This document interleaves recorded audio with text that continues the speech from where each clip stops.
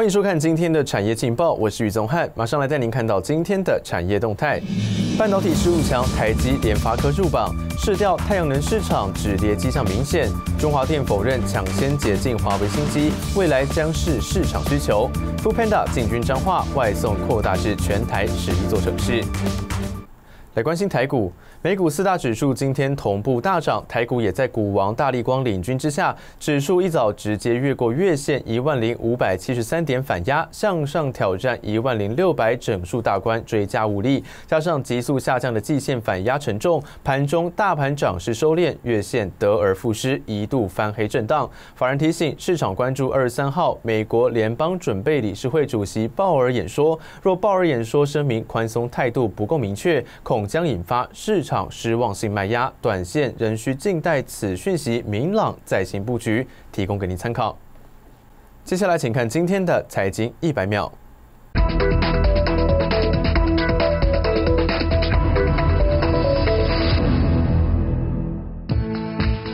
调机构 IC Insights 二十一日发布最新报告，指出今年上半年全球前十五大半导体厂上半年营收普遍衰退，排名洗牌。英特尔夺回龙头，三星退居第二，台积电居第三，排名最佳。联发科则是首度进榜。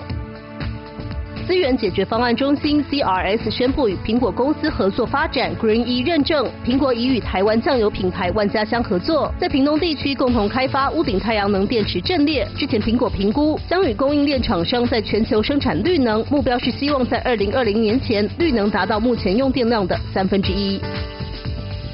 日经中文网八月二十日报道，富士胶片控股由子公司富士全路在中国生产复合机，并向美国全路销售和出口。目前已把部分机型生产线从中国转移至越南。惠誉信平表示，若美国将中国三千亿美元进口产品的关税由百分之十上调到百分之二十五，导致中国经济加速下滑，新加坡、台湾、南韩、香港等亚洲四小龙的银行业者可能面临最沉重的降频压力。新唐人亚太电视整理报道。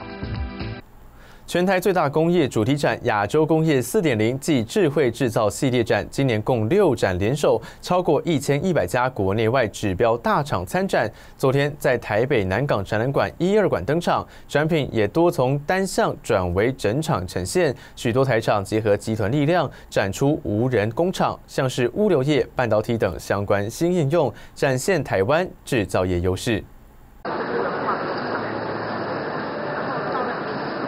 搬运车搭载六轴机械手臂，将对应的晶圆传送盒更换到晶圆移载模组，再传送半导体制成的纳米级定位加工，双赢打造全自动无人化半导体工厂，让产品在高洁净环境下进行二十四小时不间断生产。在这整个模拟的中间，用了我们 HiWin 集团十三样的产品。这个纳米空气轴承定位平台呢，它可以在千分之一秒钟就达到整定定位的效果，所以让整个加工来说，它更低磨好，而且高效率。提到无人化工厂呢，在今年的展览上可以看到有越来越多的物流业者导入了这个搬运的机器人以及智能物流系统，真正朝无人化发展。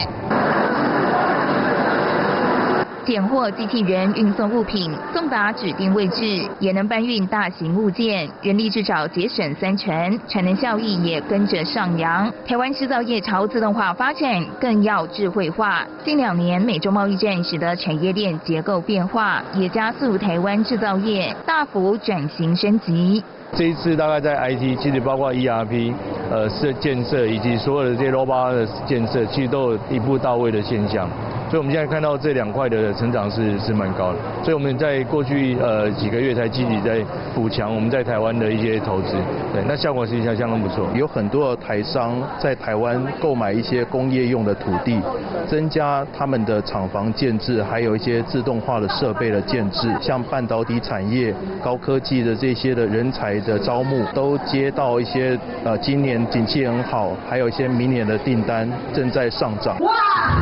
迎接新趋势的到来，今年亚洲工业四点零暨智慧制造系列展共六展联手，超过一千一百家国内外指标大厂参展，在南港展览馆一二馆登场，同时举行超过一百场活动，展现台湾制造业优势，链接国际。新唐人亚太电视陈文模、李晶晶，台湾台北报道。带您看到今天的国际重要财经报纸讯息。彭博社目标百货第二季财报优于预期，股价飙涨超过百分之十四。金融时报，脸书推出新功能，用户可关闭个人化广告及浏览追踪。华尔街日报，美联准会上月会议记录显示，官员对降息立场意见分歧，争论激烈。日本经济新闻，日韩外交部长会谈，双方对出口管制问题仍无共识。台湾环保署公告，二零三零年将全面禁用一次性塑胶吸管、饮料杯、购物袋及免洗餐具。但您看到，有业者利用远红外线多层次震荡波专利技术，研发出会呼吸的塑胶粒，通过 SGS 检测，能混合塑胶素材使用，达到自然分解的效果，减少垃圾量。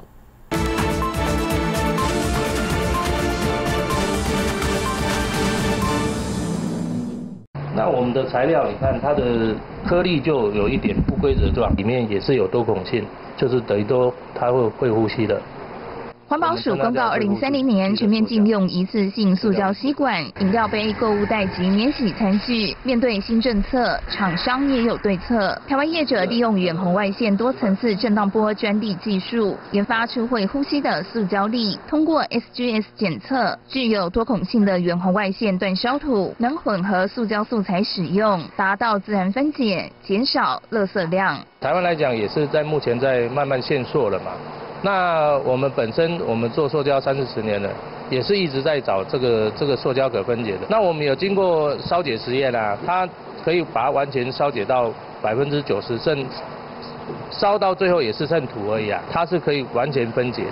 除了能分解，也延长保鲜时间。像是使用百分之五十多孔性煅烧土，加上百分之五十食品级 PP，能释放四到十四微米波的生育光波，所制作出来的保鲜盒与保鲜袋，相较市售同性质产品的保鲜度增加二到三倍。制作成陶锅，也能减少一半的烹煮时间，达到节能省电。降到百分之五十的使用量，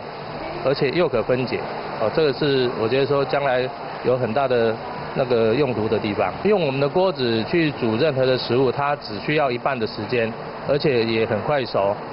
因为我们的远外线的震荡波可以把水分子震细，所以说它很容易在食物在渗透当中，它很容易就熟了。台湾业者结合集团力量，研发多款家庭生活等用品，包括床垫、天花板等，降低塑胶使用，朝环保节能发展。面对塑胶吸管话题，业者也表示，可分解的塑胶吸管预计年底前研发成功。